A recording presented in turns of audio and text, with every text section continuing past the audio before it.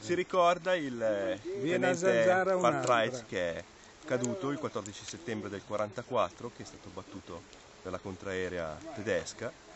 Marco Garavaglia aveva trovato nel, nel- registro della chiesa parrocchiale l'atto di morte e, e da lì diciamo che è nel 2003 è questo. E da lì si è tutto fermato fino a gennaio di quest'anno quando hanno, hanno richiesto alla biblioteca di Bernate un- il punto di caduta dell'aereo perché questi ricercatori dell'Air Crash Po sono dei ricercatori archeologi militari sapevano che era caduto questo aereo e hanno chiesto alla biblioteca di Bernati. Il bibliotecario di Bernati si ricordava di un libro fatto nel comune a Boffalora in cui era riportata la storia di questo pilota e da lì è nato tutto.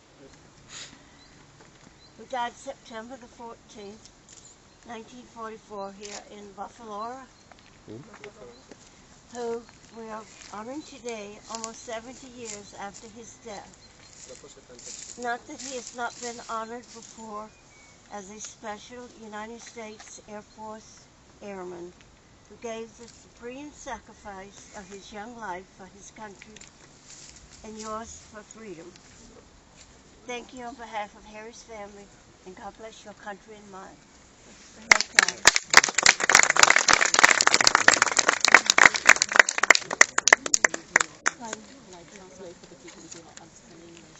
Yes, yes.